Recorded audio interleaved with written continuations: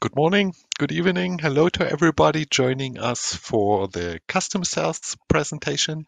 Um, delighted to introduce Daniela Werlich, who is the CTO at Custom Cells, and she will tell us a little bit about cathode materials for lithium ion batteries and share some limitations and opportunities for those. Daniela, over to you.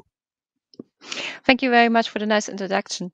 Uh, and also uh, welcome to you all uh, to my talk about, as stated, uh, cathode materials. Um, let me first introduce uh, Custom Cells to you in some short words. So Custom Cells was founded, and I need also my presentation laser. There we are.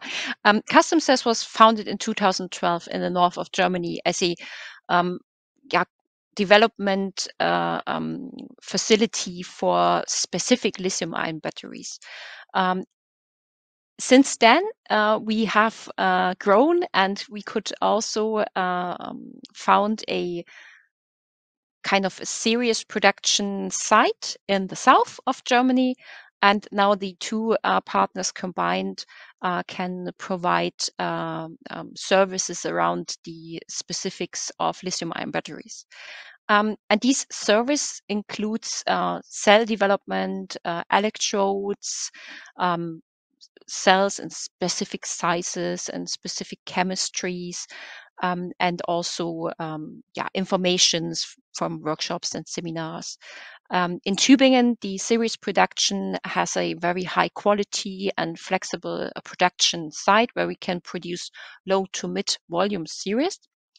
Um, since our foundation, we uh, had over 1,800 projects uh, with lithium ion battery cells. We have now over 10 or next to 10 years uh, in experience with lithium ion batteries, which is quite a long time. And we could industrialize uh, um, about 14 uh, electrode types. Uh, materials, but more combinations in cells beyond count. um, our main focus is on quality standards, which is very important if you want to uh, really have good uh, functioning uh, lithium ion batteries, which are still in the development phase. We don't do this alone because we have a the whole value chain that we have to um, work in. So we have a broad uh, network of partners who help us to um, in our development. Uh, first of all, Fraunhofer and uh, other research institutes. Fraunhofer mainly because we are a direct spin-off of a Fraunhofer Institute one of our uh, one of our colleagues uh, founded the company E-Lyte. They are specifically working on uh, electrolytes for uh, yeah, specific uh, lithium-ion batteries. Um, the company Manz uh, for um, production equipment. Coperion is a extruder provider, which helps us to develop faster um, slurry production processes. Keysight Technologies um, is a provider of testing equipment and formation equipment, and uh, Breyer um, are producing calender options.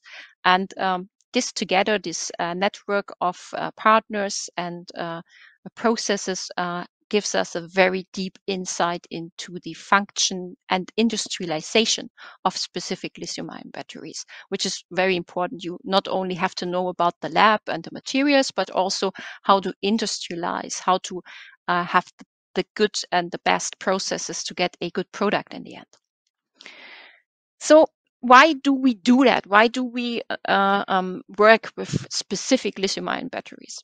Um, there are many applications uh, for lithium ion batteries in the field, and the different applications demand for different properties of the of the cell.